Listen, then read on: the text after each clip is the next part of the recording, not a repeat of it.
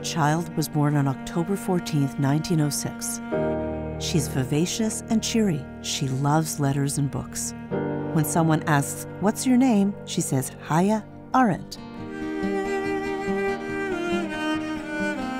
אם חנה ארנדט מאופיינת בתור אינטלקטואלית, זה כמישהי ששוברת קלישאות. In 1924, the great philosopher Martin Heidegger recognized very soon that she was something special, and quickly they developed a personal relationship, which in a strange way lasted through Hannah Arendt's life. For me, as a Jew, Germany means my mother tongue, philosophy and literature. I think non-thinking is even more dangerous. It is this non-thinking adoption of fascist, racist ideologies, which she is saying became normal, which is why we have to be all the more alert.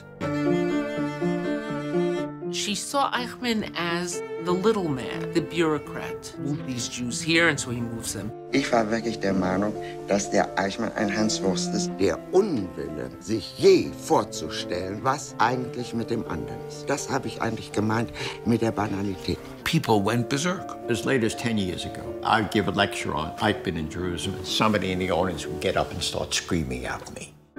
If I hadn't wanted to become respectable, I would have either have had to give up my interest in Jewish affairs or not marry a non-Jewish man, either option equally inhuman. For many years, we have met Germans who declare they are ashamed of being Germans. I've often felt tempted to answer that I am ashamed of being human, that all nations share the onus of evil committed by all others. She doesn't fit any traditional categories. She's not a classical liberal. She's not a classic Marxist. She's not a classic conservative. She has enjoyed such renown precisely because she was an independent thinker. The life, the life she led she has become like a prophet out of the Hebrew Bible.